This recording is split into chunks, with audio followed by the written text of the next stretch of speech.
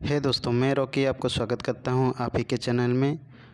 आज जो हम टॉपिक लाए हैं ऑन रिक्वेस्ट ट्रांसफ़र के बारे में, इसका फुल प्रोसेस जानेंगे कैसे नया एप्लीकेशन किया जाता है, कैसे फॉर्म फिलअप किया जाता है through H R M S हम आपको एच आर एम एस में जाके कहाँ, कैसे फिलअप किया जाता है, इसके बारे में हम आपको बताएँगे।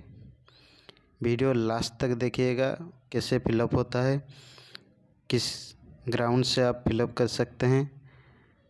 चलिए, वहीं पर हम बताएँगे एच आर एम एस में जाके। चलिए, शुरू करते हैं। जैसे कि आप देख पा रहे हैं, हम लोग H R M S website में आ चुके हैं। यहाँ पर यूज़र नेम और पासवर्ड दे के हम लोग लॉगिन कर लेते हैं। यूज़र नेम पासवर्ड दे चुके हैं। सिंपली हम लोग लॉगिन में क्लिक करेंगे। सिंपली लॉगिन करने के बाद आपको ओटीपी मांगेगा। ओटीपी डालने के बाद आप सिंपली लॉगिन हो जाएँगे। चलिए ओटीपी हम लोग का आगे है, डाल लेते हैं।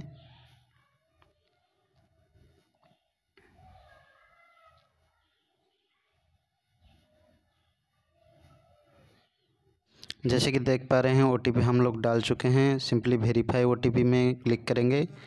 वेरीफाई ओटीपी में क्लिक करने के बाद हम लोग का जो एच आर एम एस है, लॉगिन हो जाएगा। लॉगिन होने के बाद यहाँ पर दिया गया एरो मार्क में आप लोग क्लिक कीजिए। एरो मार्क में क्लिक करने के बाद I R H R M S E double S भी थ्री पॉइंट ज़ीरो जो दिया गया है, वहाँ पर क्लिक कीजिए। क्लिक करने के बाद नीचे स्क्रॉल करके नीचे स्क्रॉल करने के बाद ऑन रिक्वेस्ट ट्रांसफ़र एप्लीकेशन में क्लिक कीजिए। ऑन रिक्वेस्ट ट्रांसफ़र एप्लीकेशन में क्लिक करने के बाद, जैसे कि आप देख पा रहे हैं, यहाँ न्यू एप्लीकेशन दिया गया है। तो आप न्यू एप्लीकेशन में क्लिक कीजिए। न्यू एप्लीकेशन में क्लिक करने के बाद, जैसे कि आप देख पा रहे हैं, मेरा जैसे एम्प्लॉई आईडी हो गया और एम्प्लॉई आईडी आईपीएस हो गया, जिसको आप एम्प्लॉय आईडी भी बोलते हैं। नीचे दिया गया है employee name appointment date date of birth designation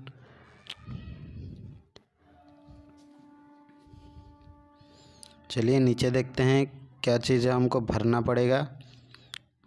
चलिए यह है क्या एम्प्लॉय डिटेल्स नीचे स्क्रॉल करते हैं।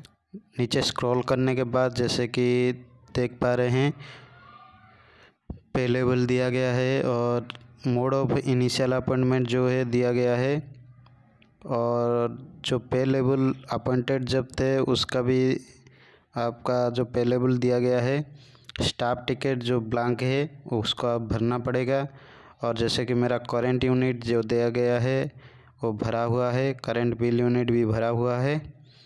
चलिए नीचे देखेंगे स्क्रॉल करते हैं। स्क्रॉल करने के बाद हम जैसे देख सकते हैं, मेरा लीन जोन भी भरा हुआ है लीन यूनिट भी भरा हुआ है। आपका जो एजुकेशन क्वालिफिकेशन है, जो लास्ट आप सबमिट किए हैं, वही आपको एजुकेशन क्वालिफिकेशन में दिखाई देगा। और यहाँ पर जैसे नया देख सकते हैं वेदर हैविंग टाइपिंग प्रोफिशेंसी ये सिर्फ़ एप्लीकेबल है जूनियर क्लर्क के लिए। या सीनियर क्लर्क लिए। यहाँ अगर आपका टाइपिंग प्रोफिशिएंसी है तो आप सिंपली इसमें यस कर सकते हैं या ऐसे ही नो करके छोड़ सकते हैं। चलिए, नीचे देखते हैं।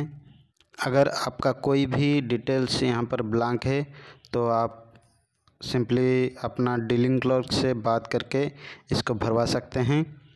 चलिए, नीचे देखते हैं। अभी हो गया है एम्प्लॉय डिटेल्स ये सब कंप्लीट हो चुका है। उसके बाद हम लोग ट्रांसफ़र डिटेल्स जो है, उसमें देखेंगे कि क्या क्या भरा जाता है और क्या डिटेल्स माँगता है, उसके बारे में देखेंगे। चलिए नीचे स्क्रॉल करते हैं।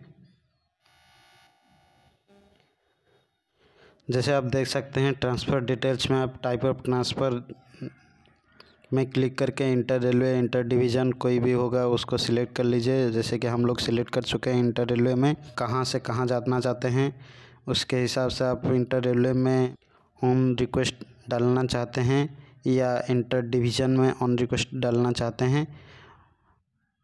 क्लिक करने के बाद हम लोग जैसे इंटर रेलवे डाल के चलते हैं और उसके बाद रेलवे जोन डालिएगा। जैसे कि आप अगर खुद के जोन में रहना चाहते हैं तो ठीक है, खुद का जोन डालिएगा। अगर आप अलग जोन में डालना चाहते हैं तो आप यहाँ पर डाल सकते हैं। जैसे कि हम लोग डाल चुके हैं ईस्ट सेंट्रल रेलवे, एग्ज़ाम्पल के लिए हम लोग लिए हैं। उसके बाद रेलवे यूनिट डालिएगा। जैसे रेलवे यूनिट हम लोग डाल चुके हैं ईस्ट सेंट्रल रेलवे हेडक्वार्टर में जाना चाहते हैं तो हेडक्वार्टर डालिएगा। या अगर कहीं भी व्हाट्सअप में जाना चाहते हैं तो व्हाट्सअप डाल सकते हैं।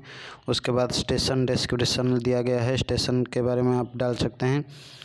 उसके बारे, उसके बाद डिपार्टमेंट है, जो आप किस डिपार्टमेंट से कहाँ जाना चाहते हैं मैकेनिकल है इलेक्ट्रिकल है, कोई भी डिपार्टमेंट है तो आप यहाँ पर डाल सकते हैं। चलिए स्क्रॉल करते हैं, आगे देखते हैं कि और क्या क्या माँगता है। चलिए नीचे चलते हैं। जैसे कि नीचे जाने के बाद आप जैसे देख सकते हैं, सब डिपार्टमेंट है। आप सब डिपार्टमेंट उसका डाल सकते हैं। जैसे आपका डिपार्टमेंट हो गया मैकेनिकल है या इलेक्ट्रिकल हो गया तो उसका सब डिपार्टमेंट आप डालिएगा। और डिपार्टमेंट के हिसाब से ही ये सिलेक्ट किया जाएगा सब डिपार्टमेंट उसके बाद आपका डेजिग्नेशन जो है, उसको सिलेक्ट कीजिएगा।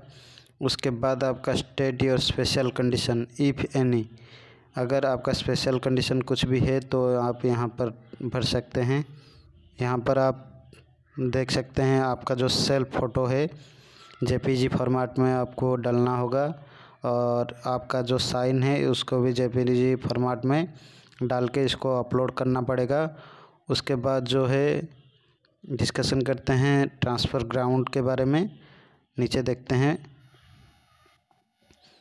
जैसे कि देख पा रहे हैं ट्रांसफ़र ग्राउंड ई पेनी अगर आपका ट्रांसफ़र ग्राउंड कोई रीजन बेस में आप ट्रांसफ़र करना चाहते हैं तो वही यहाँ पर आप क्लिक कर सकते हैं। जैसे कि आपका स्पाउस ग्राउंड हो गया, या आप विडो है विडो ग्राउंड में आप डालना चाहते हैं, या आप किसी तरह का हैंडीक्राफ्ट पे उस तरह का ग्राउंड में डालना चाहते हैं तो यहाँ पर आप डाल सकते हैं।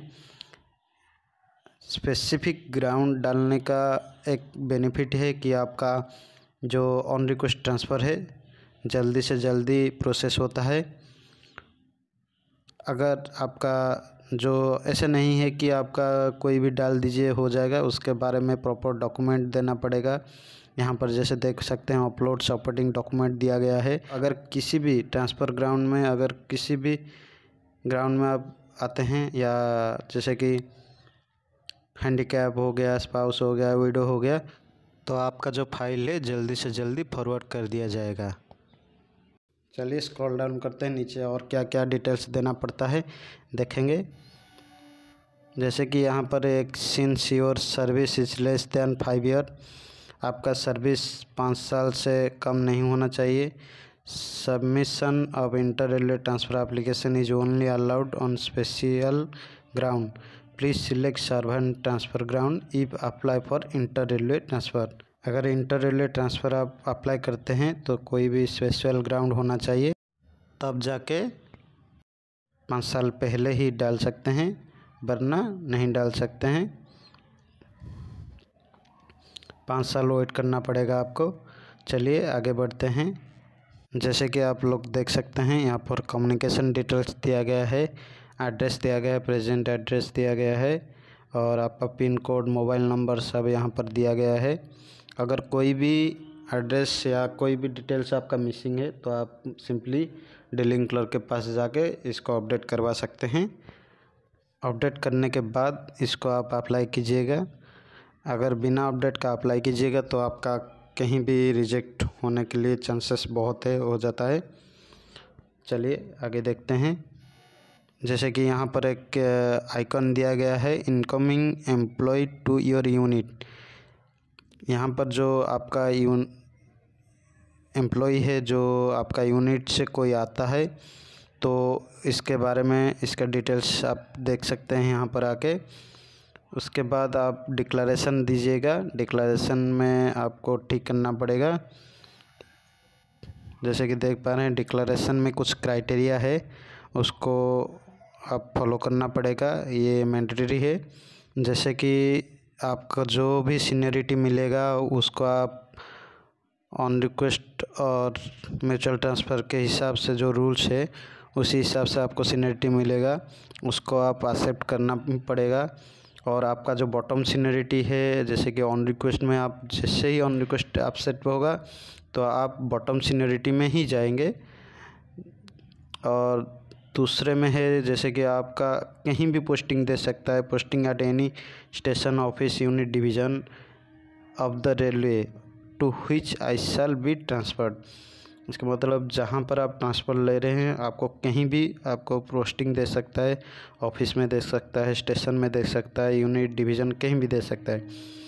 और एक चीज़ होता है, तीन नंबर में जो आता है I am neither entitled to transfer passes nor T A D at joining time आप जॉइनिंग टाइम पर कोई भी T A D A claim नहीं कर सकते हैं। चौथा है, आप claim for allotment of railway quarter on out of town basis आप बेसिस से बाहर जाके आप अलॉटमेंट नहीं हो सकता है। उसका क्लेम नहीं कर सकते हैं। चलिए आगे देखते हैं। पाँच में आता है, आपका जो सिक्योरिटी डिपॉजिट मनी लेता है, वो लगेगा यहाँ ट्रांसफ़र में। और छठा है and regulation connection with duties of the post which I am seeking transfer इसको भी आपको एग्री करना पड़ेगा। सातवा है साथ में है आई शैल not seek a re transfer to my original department आप साथ में आपका जो रूल्स है कि आप री ट्रांसफ़र नहीं कर सकते हैं।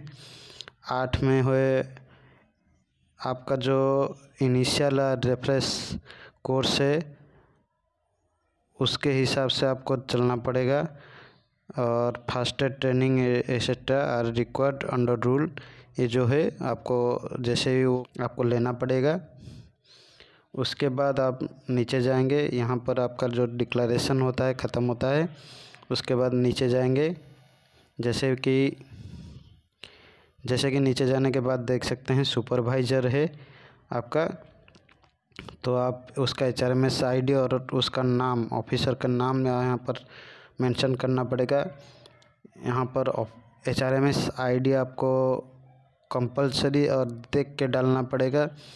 मेरा एक सब्सक्राइबर है जिसका H R M S I D गलत डालने के कारण उसका सुपरवाइज़र के पास ना जाके उसका जो है डीलिंग क्लर्क के पास पहुँच गया है। आप कमेंट में देख सकते हैं, वो एक मेरा सब्सक्राइबर है।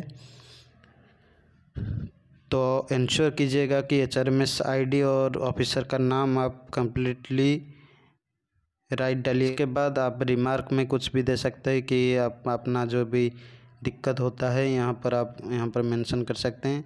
और मेंशन करने का एक तरीका है कि आप जितना छोटा रिमार्क्स उतना अच्छा रहता है।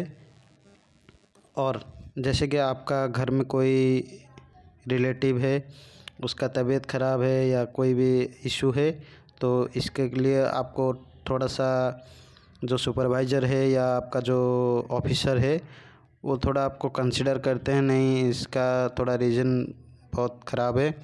तो उसको हम लोग ट्रांसफ़र कर देंगे। तो इसी हिसाब से वो ट्रांसफ़र किया जाता है। तो आप यहाँ पर सोच समझ के रिमार्क्स डालिएगा।